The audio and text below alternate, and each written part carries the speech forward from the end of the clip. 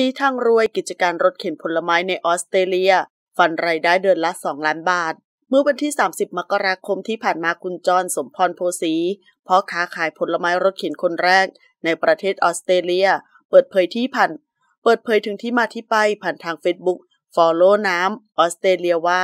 สาเหตุที่นำรถเข็นจากไทย ไปเปิดขายผลไม้ที่ออสเตรเลีย เพราะเป็นคนชอบกินมะม่วงคลุกพริกเกลือ แบบรสจัดจ้าน แต่ที่นั่นยังไม่มีประกอบกับตนเองทำธุรกิจขนส่งสินค้าจากออสเตรเลียมาไทย และออฟฟิศที่เช่าเพื่อทำธุรกิจในย่านไททาวในซิดนีย์ยังมีพื้นที่ว่างอยู่ อยากหาไรายได้เพิ่ม จึงเป็นที่มาของความคิดเปิดร้านขายผลไม้ โดยขนรถเข็นขึ้นเรือมาจากไทย เอามาตั้งขายทั้งผลไม้สดและผลไม้ดอง ทั้งนี้ผลไม้ขายดีมาก ติดใจทั้งคนไทยที่นี่และต่างชาติ อย่างคนจีน มาเลเซีย อินโดนีเซีย ฟิลิปปินส์และอินเดีย ซึ่งวันแรกที่เปิดขายก็ขายหมดภายในเวลาไม่กี่ชั่วโมง และทุกวันก็จะมีลูกค้ามาต่อคิวรอซื้อเป็นประจำ ซึ่งอย่างไรก็ตาม จากกระแสตอบรับอย่างดี ตอนนี้ได้เอาไอศครีมกะทิสดจากไทยเข้ามาขายเพิ่มด้วย และกำลังคิดว่าจะเปิดร้านขายลูกชิ้นปิ้ง และรถเข็นปลาหมึกย่างเร็วๆนี้เพิ่มอีกในอนาคต ขอขอบคุณข้อมูลจากทีนิวส์ขอบคุณค่ะ